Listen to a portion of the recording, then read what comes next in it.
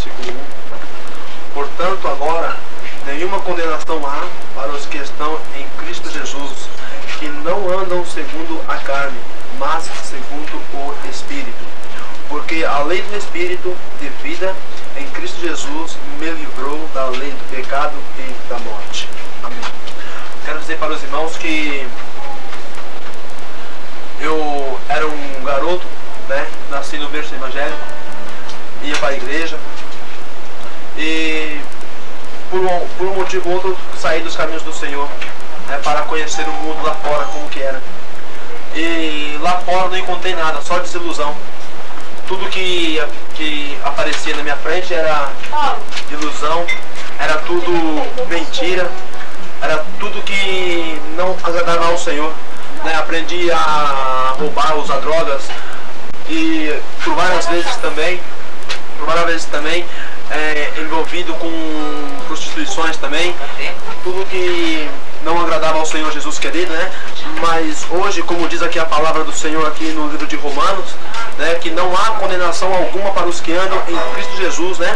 Porque a lei do porque o Senhor nos libertou da lei do pecado, né, e da morte, né? E hoje eu glorifico ao Senhor porque no certo dia, mais ou menos às 11 horas da noite, eu estava no bar, estava, eu estava ali no bar ali na vida bancária esperando um rapaz que ele vinha trazer um pacote para mim, para que eu pudesse fazer algum, é, traficar ali, né, as drogas ali.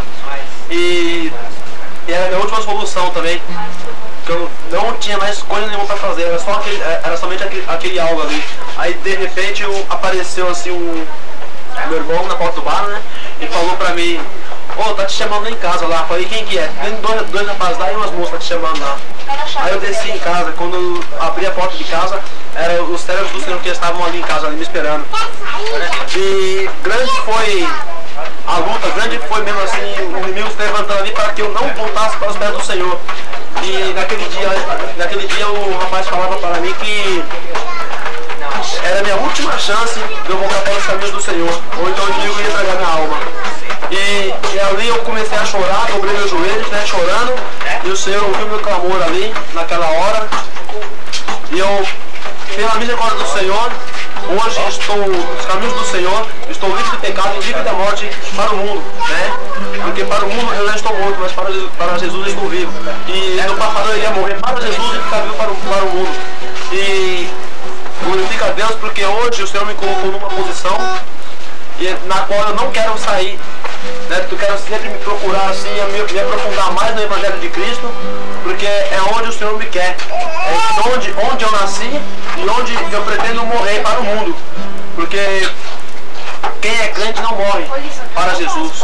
Né? Não somente quem é crente, mas quem segue a palavra do Senhor, quem segue a doutrina do Senhor, não morre para Jesus, né? Está sempre para Jesus. Mesmo que a, morte, que a morte vem, vencer a morte, nós venceremos. E eu glorifico muito Senhor, porque hoje o Senhor me colocou um conjunto nas mãos, me colocou um cargo na igreja também, não para a minha glória, mas para a glória e o nome do Senhor, porque o Senhor achou graça em mim e viu né, que é, achou uma capacidade em mim que eu, eu, por mim, eu não tenho, mas para Jesus o Senhor achou graça em mim e colocou, e colocou minhas mãos, e o Senhor sabe todas as coisas.